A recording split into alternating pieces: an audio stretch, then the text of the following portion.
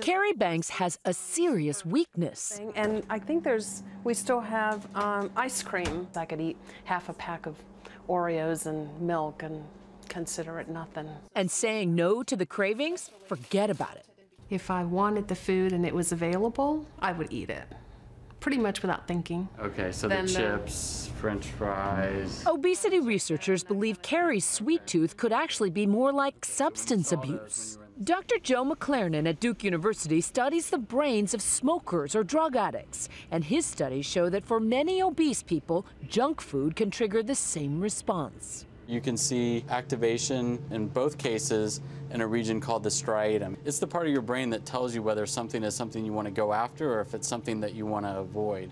But it's also the part of the brain that's involved in learning habits. In a new study, scientists at the Scripps Research Institute found similar results in rats.